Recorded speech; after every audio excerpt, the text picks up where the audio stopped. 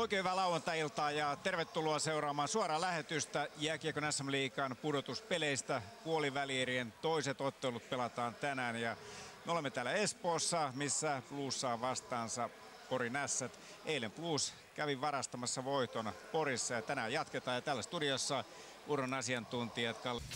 Bluesin ja Ässien törmääminen pudotuspeleissä on ensimmäinen kerta SM Liigan historiassa. Espolaiset ovat viime vuosina olleet playoffsien vakiovieraita. Ässät sen sijaan kiekkoili pudotuspeleissä edellisen kerran keväällä 2006. Kärpät villikortti kierroksella lauluun lähettänyt Blues onnistui ryöstämään pisteet Porin Hornan kattilasta avausottelussa.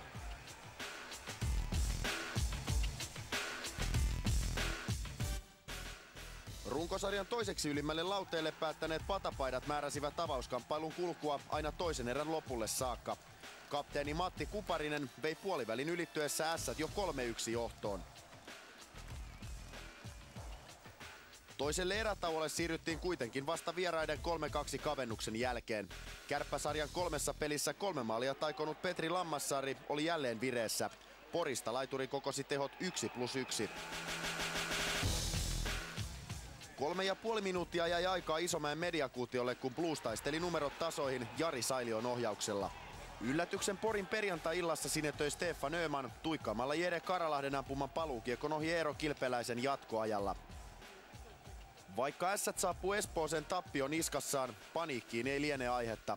Sarja on pitkä ja porilaiset olivat runkosarjan aikana historiallisen vahvoja vieraissa.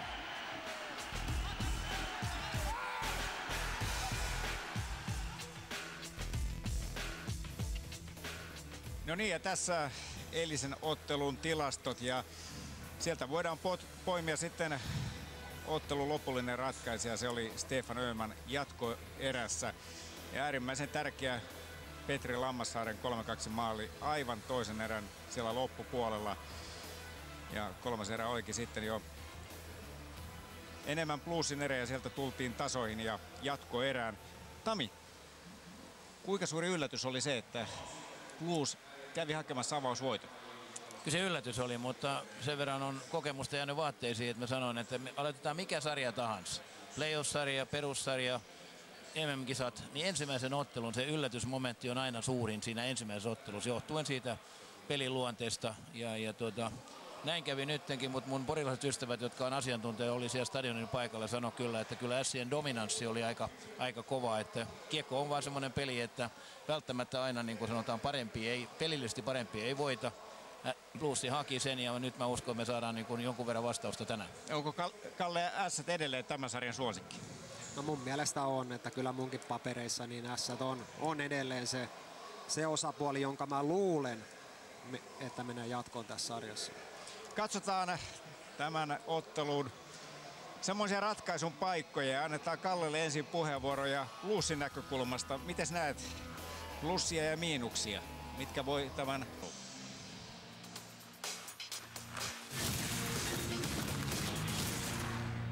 Avausottelusta voitto teille Porista. Minkälainen tuntuma Sistä tuon ottelun perusteella jäi?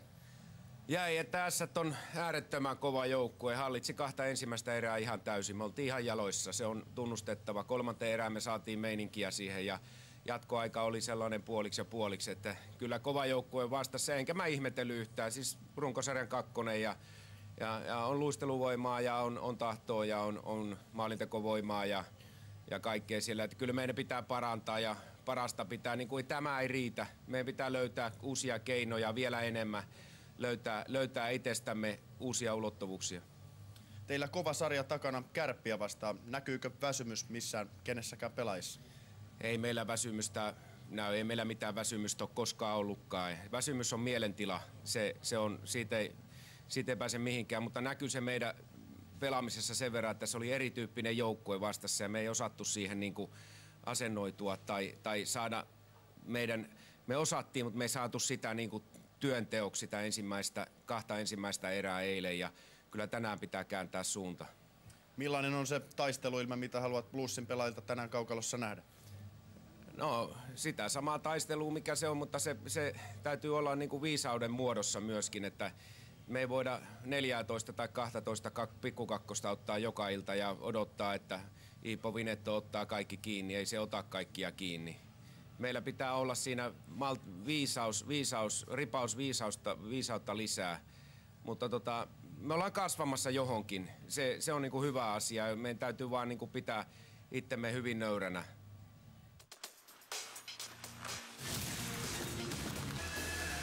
Kotijoukkueen miehitys tulee tässä. Iiro Tarkki torjui eilen 41 kertaa Porissa.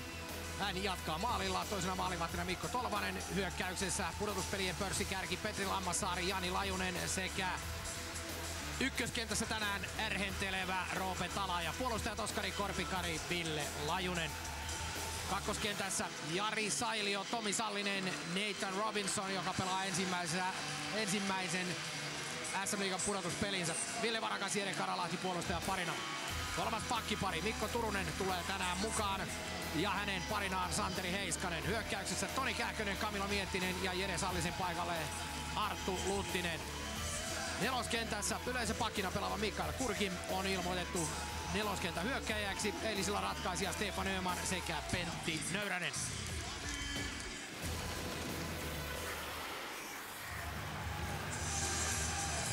Toinen puoli välierä ja maalivahdit ovat tässä. Iiro Tarkki on löytänyt loistavan vireen.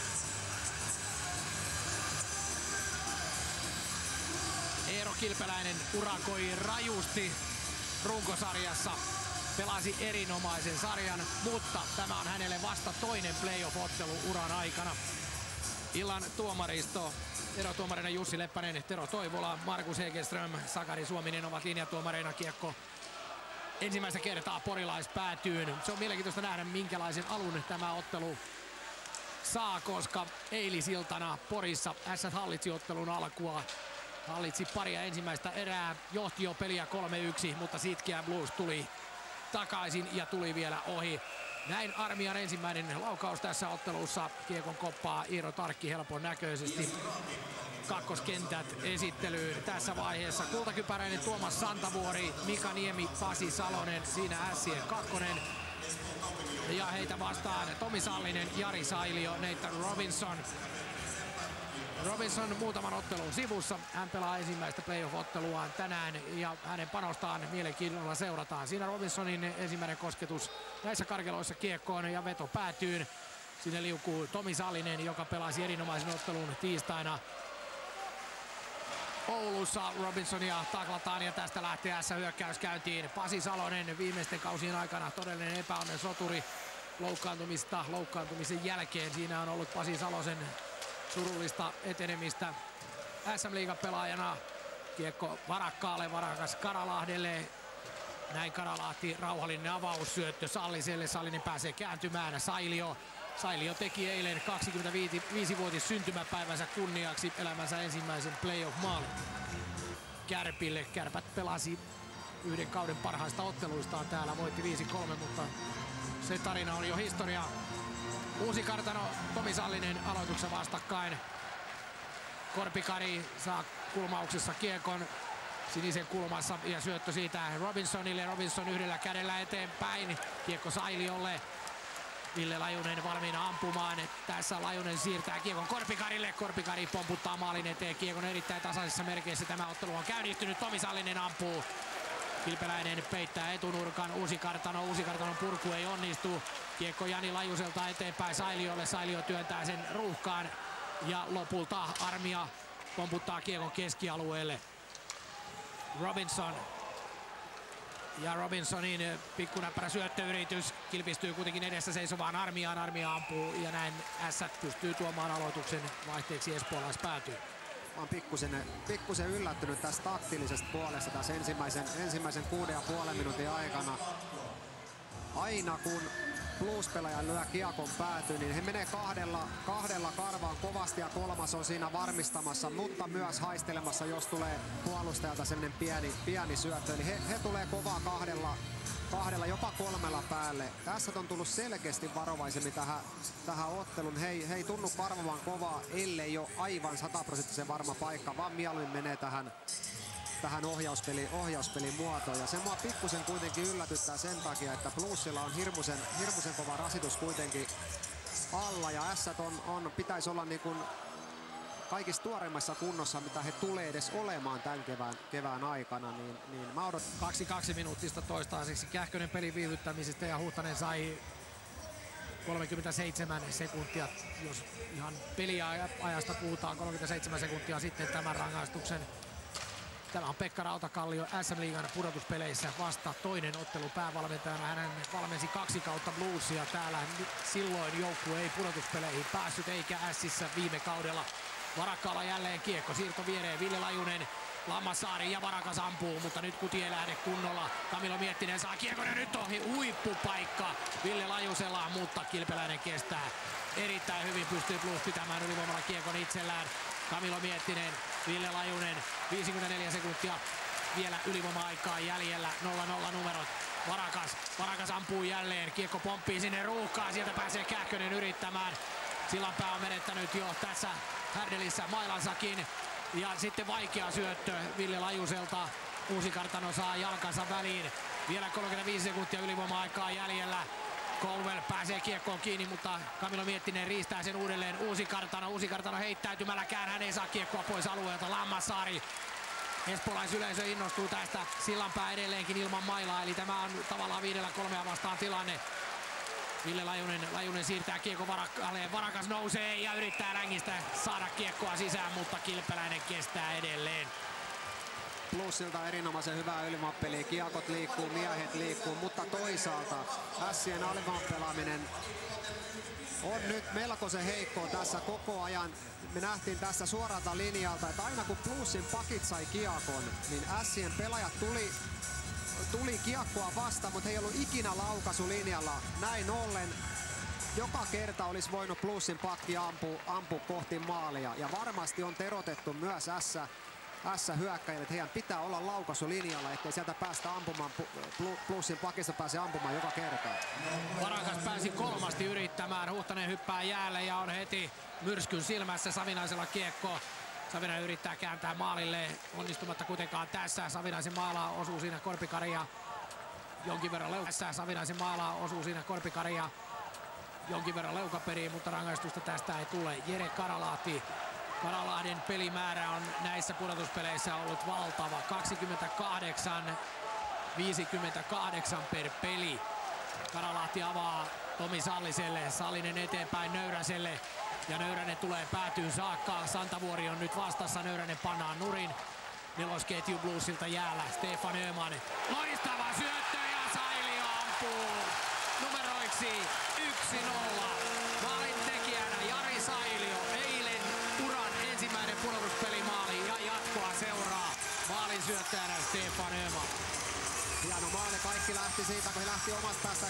Hyvä hyökkäykseen lähtö. Sien 1-2-2 vuosi, kun seula tuossa keskialueella, jonka seurauksena Plus pääsi hyökkäysalueelle Ömanilta hienot, hienot kieputukset tuolla, tuolla kulmassa ja, ja syöttö, syöttö Sailille, joka pistää varmasti kilpikäden puolelta, kilpikäden puolelta kiekon sisään. Tossa, tossa on kyllä sitten kilpeläinen täysin voimaton.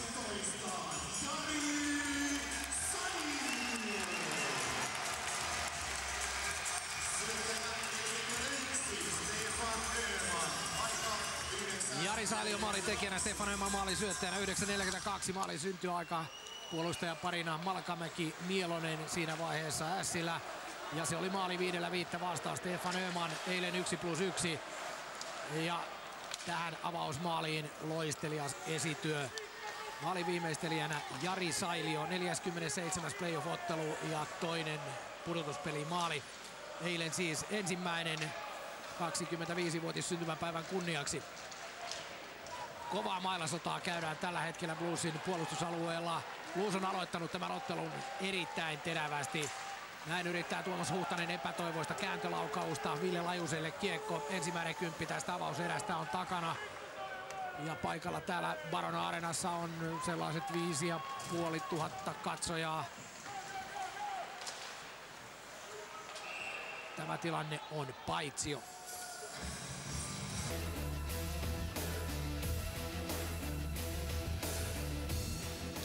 Johtoasemasta toiseen erään pääsee Blues lähtemään. Minkälaiset fiilikset avaus 20 jäi? No, ihan hyvät totta kai, että ollaan johossa, mutta Ei kyllä työ, työmäärä on vähän, vähän laskee, ei tehty niin paljon, että pitää siihen, siihen Petraa tehdä yksityisiä asioita silleen vähän huolellisemmin. Sinulla kokemusta playoff-peleistä löytyy. Eilen tuli kuitenkin vasta ensimmäinen playoff-osuma ja nyt heti perään toinen. Onko tämä Jari Sailion teho kevät? No, toivotaan niin. Kolmas, äh, toiseen erään, niin kaipasit sitä työilmettä lisää. Minkälainen sen tulee toisen erään olla? No kyllä se tulee vau, vauhikas ole ja taklauksia ja tommosia. Sitä nyt lähdetään ainakin itse nostaa paljon enemmän, työmäärä. Kiitos. Kiitos. No Tami, miten sinä näet Luusin ja toisaalta... Kuparisen ketju ei päässyt oikein siihen flowhun, jota runkosarjan lopussa saimme useasti nähdä. Kiekko juuri nyt Matti Kuparisella. Kuparinen sai siis kiekon kasvoihinsa tässä ensimmäisen erän tohinassa ja kaiken lisäksi oman pelaajan lähettämänä. Nyt lähtee Nöyränen rajusti vipeltämään sinne kiekon perään. Taklaus lähtee, Colwell menettää kontaktin kiekkoon. Ville Lajusen laukaus, kiekko Nöyräsen luistimista maalin rautoihin niin, että kolina käy. Nöyränen ottaa kiekon, hän pelaa erittäin energisesti nyt tätä vaihtoa. Mikael Kurki toiselta laidalta esiin ja Kurki tulee röyhkeästi maalille. Kilpeläinen katsoo missä kiekko on. Se on maalissa! Maalitekijänä Ville Lajunen.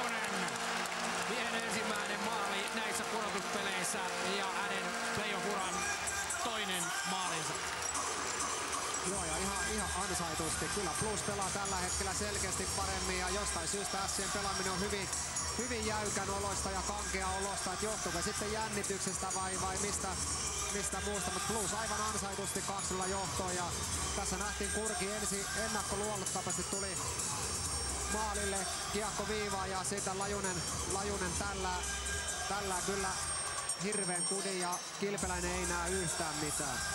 Luusin nelosen kova työ palkittiin. Öman jälleen tämänkin maalin syöttäjänä ja toinen syöttäjä on Mikael Kurki. Oh ja siellä Ömani, Ömani sai just nää, nähtiin tuolla kuvan ala, alalaidassa, niin syötön jälkeen sai kyllä kovan, kova isku itsensä ja, ja jäi, jäi toviksi makaamaan tonne jäähän, että saa nähdä, saa nähdä tuliko, tuliko kuinka vakava loukkaantuminen. Stefan Nymanin neljäs tehopiste tässä ottelusarjassa. Mikael Kurki saa kauden ensimmäisen pudotuspelipinnansa Pelikan Sport 2-0 numeroissa. Samat numerot myöskin täällä Espoossa. Nyt alkaa Ässillä pikkuhiljaa olla paikka, josta on jollain lailla selviydyttävä ja se selviytyminen tietää sitä, että joukkueen on tehtävä seuraava maali tänä iltana. Määttä, Määttä poikittain Uusi Kartanolle. Uusi Kartano jatkaa eteenpäin. Saborskin kourasta kiekko pomppii kulmaan. Ja irtokiekkoihin Blues menee nyt terävämmin. Se hakee tällaiset irtopalat vähän samaan tyyliin kuin S haki runkosarjassa. S oli ylivoimaisesti paras vierasjoukkue runkosarjan aikana. Nyt tulee jälleen Sammalkankaalta puolestaan helpon näköinen kiekon menetys ja Blues jyrää. Jäähy on kaiken lisäksi Ässille tulossa. Ässät on täysin, täysin jumissa juuri tällä hetkellä. He ovat jumissa ja täysin hukassa kentällä. He pelinopeutta ei löydy kyllä pätkän vertaa, tekee väärin ratkaisuja.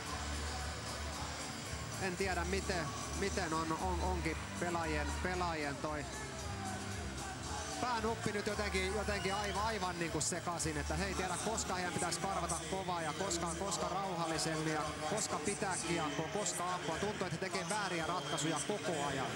Ville Uusitalolle jo illan toinen kaksi minuuttinen. Ässien kolmas.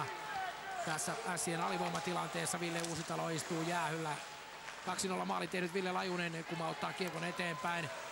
Ja Miettinen, jos koskee ja kun koskee kiekkoon, niin tässä käsisyöttö tulee voimaan.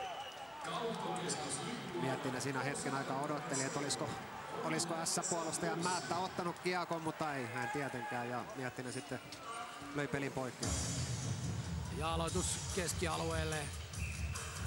Kuparinen, Huhtala, siinä S hyökkäät puolustajina Malkamäki, Sammalkangas, Jani Lajunen, Stefan Öhman, Arttu Luttinen. Tässä ketju puolustajina Karalahti ja Korpikari. Luttinen painaa kulmaan Samalkankaan kimppuun. Kolme S on nyt tässä kulmassa.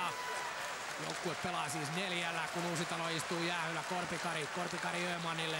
Öhman molempien maalien syöttäjänä, syöttäjänä ja Öhman liukuu maalia kohti, liukuu maalin taakse. Katse on koko ajan jäälle.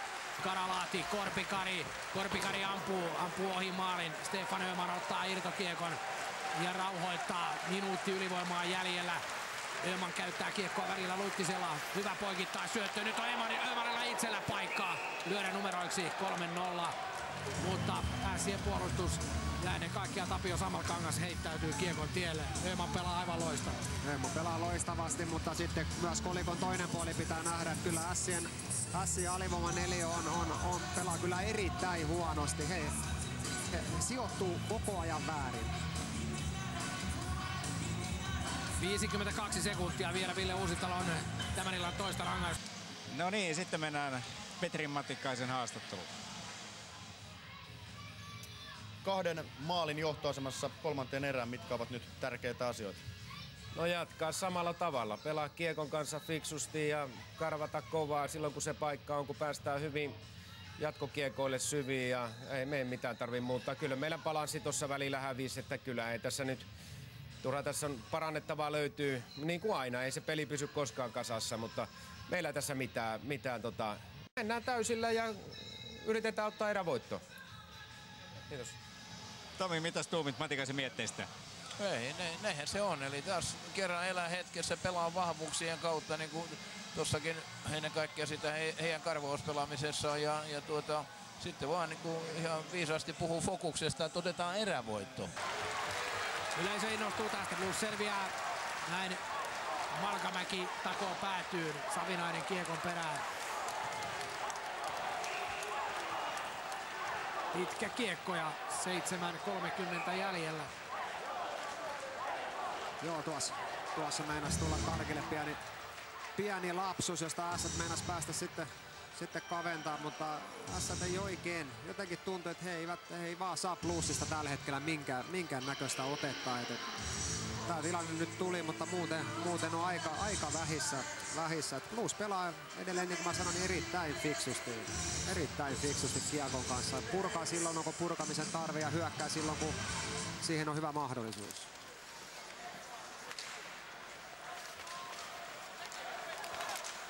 Mäkilä, Mäkilä junttaa kiekon sinne maalin edustalle.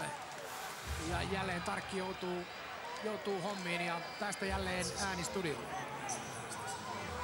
Tami, minkä takia Luus kontrolloi peliä tällä hetkellä melko täydellisesti? Mä tehnyt S asettomaksi, niin kuin mä sanoin, se syy on siellä niin kuin Sien huonossa mentaalisessa valmistautumisessa. He saa sitä koneestaan niitä irti. Nyt kun he johtaa 2-0, ihan kuin Kalle sanoi tuolta, ne pelaa fiksusti. Eli tuota, ennen kaikkea Kiekon kanssa ei ota mitään riskejä. Lähdetään silloin, kun meillä on organisoitu lähtö, niin sitten lähtee kaikki viisi. Jos siellä on kaveri yksittäisissä vaikeuksissa, nostaa semmoisen norsukiekon tonne eteen. Sen jälkeen viiden trappi nousee sinne. S ei löydä minkäänlaisia aseita tätä niin kuin Bluesin ohjaustrappia murtaa. Ne syötä, syötöt oli liian hitaita, keskialue ei kiihdy. Jos kiihtyy, niin se on yhden miehen kiihdytys. Ei ole tukea enää, kun tullaan hyökkäys sinisellä. Jos lyödään päätyä, niin Blues hakee kun tommosen helpon Marian sieltä. Ja sitten jos tulee joku pieni hässäkkä, niin Tarkki on tätä viimeistä sekoilun lukun ottamatta erittäin varmaa. on vaikea kuvitella, että tässä lähtisi tästä. Nyt tarvitaan todellinen iso yksilömaali, ala-armia, joku tämän tyyppinen, jos meinataan sitten vielä porimia tulla tähän peliin. Kiitos takana. Kaksi ässää, nyt siellä on kolme, kun siellä on vielä armiakin. Saborski, Uusikartano edelleen maalin takana. Ja tässä pelataan ilman maalivahtia tällä hetkellä. Kuudella viittä vastaan Ässät hakee nyt tilanteessa kavennusta, kun rangaistus on tulossa. Korpikanille jäähy. No niin, 3-0-1 on jäljellä. Ässät teki Tämä kyllä ajoissa. Kyllä ja aivan oikeaan aikaan, että ei, ei, tota, ei yhtään liian, liian aikaisin ottanut ja sai siitä sitten palkinnon, kun sai, sai hyvän painostuksen tonne ja Korpikari istumaan. Ja nyt on mielenkiintoista nähdä, että mitä, mitä tekee Roki Rauta. Niin, jatkuuko riskinotto? Niin, että mennäänkö kuudella neljää vastaan vai, vai lähdetäänkö pelaamaan viidellä neljää vastaan. Kyllä Kilpeläinen menee takaisin maalille. Oskari Korpikari kaksi minuuttia ajassa 56-59. Luussilla 5-2 minuuttista, Ässillä niitä on kolme. Peli on 2-0, maalitekijät Jari Sailio, Ville Lajunen. Kalpa. Kolmas maali tyhjiin, maalitekijänä Jussi Pesonen. Kalpa Lukko siis 3-0 numeroissa. Uusitalo onnistuu pitämään kiekon hyökkäysalueella. Savinainen, Huhtala, mutta Karalahti pääsee väliin. Kouluvel nousee tilanteeseen mukaan. Huhtala, Uusitalo ja Uusitalo laittaa kiekon liikkeelle Kupariselle. Nyt pelataan kuudella neljää vastaan. Kouluvel ampuu. Ja maali on siis tyhjänä tällä hetkellä vierasjoukkueen päädyssä. Savinainen ja häneltä kiekko karkaa keskialueelle saakka. Kuudella neljää vastaan hakee S nyt kavennusta tässä puolivälierien toisessa ottelussa. Peliaikaa 2-23 jäljellä, 2-0 on taululla. Maali, maali edessä Savinainen, siellä on myöskin Sillanpää. Puhtala laukaus menee kuitenkin reilusti ohi. Uusitalo, Uusitalo lähettää kiekon maalin eteen. Tässä on Kähkönen, taidokkaasti hän ohittaa Colwellin. Nyt maali on tyhjänä, vielä kerran Kähkönen. Ja Kähkönen painaa kiekon maaliin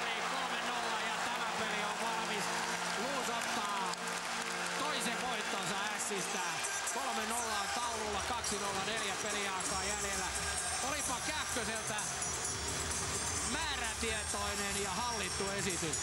Ja ennen kaikkea kylmän viileä, että siinä olisi moni kaveri on lyönyt ensin tuolta omalta siniseltä ja viimeistään tässä kohtaa, kun hän pääsee hyökkäys sinisille, mutta ei Kähkönen pitää vaan kiekon loppuun asti hallussa ja se niin pehmeältä no ei, tämä viimeinen, viimeinen laukaus oli kyllä. Kuparisen maailman kautta. Siis joo, joo. Että, että tähän, siihen asti hän teki kaikki oikein.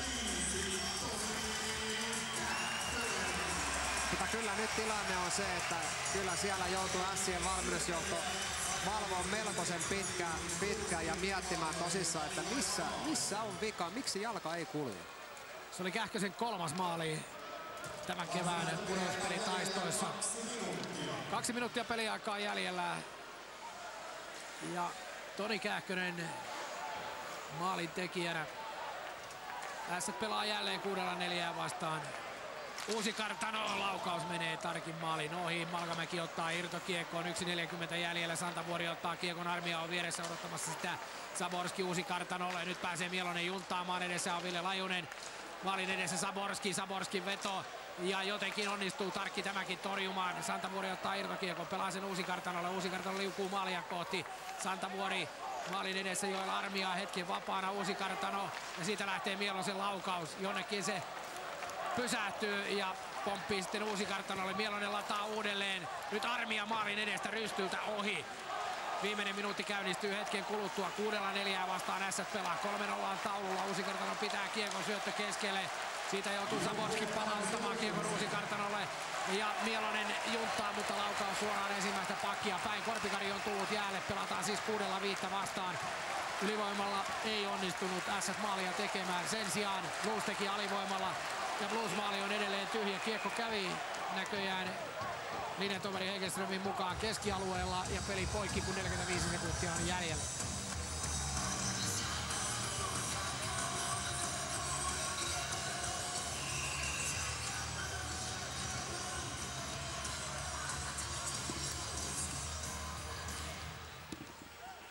Aloituksen jälkeen touhu pannaan näköjään uusiksi. 40 sekuntia on vielä jäljellä. Kilpeläinen on palannut, palannut maalilleen. Ja Blues on, Blues on todella nollannut ässät tänä iltana. Viisi ja puoli tuhatta katsojaa on Varana Areenassa paikalla seuraamassa Bluesin voittokulkua. Näin tarkin nollapeliä pyritään vielä horjuttamaan. Siihen on tasan puoli minuuttia jäljellä.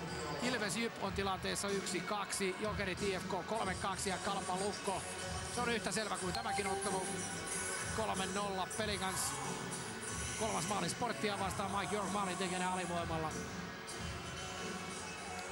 Taistelu jatkuu jo maanantaina, eli kauan ei vanhoja muistella eikä haavoja nuolla, vaan uudet kujeet välittömästi käyttöön.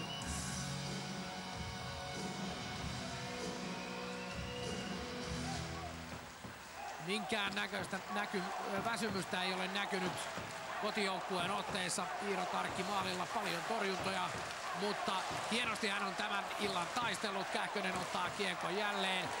Siinä yrittää Kouvel ajaa Kähköstä rajusti nurin. Kahdella nollaa vastaan vielä mahdollisuus tässä. Jani Lajunen ampuu ja kahdeksan sekuntia jää jäljelle. Aivan tarpeetonta turhautumista Colwellilta tilanteessa, jossa hän järjestää itsensä vielä viime sekunneiksi istumaan. Ryan Colwell aikaan 59-52, kaksi minuuttia.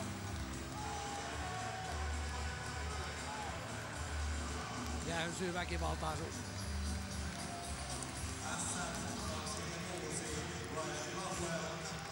Pekka Rautakallio edelleenkin puolustajien pistetilastossa kaikkien aikojen vitonen. 43 ottelua ja 44 pistettä.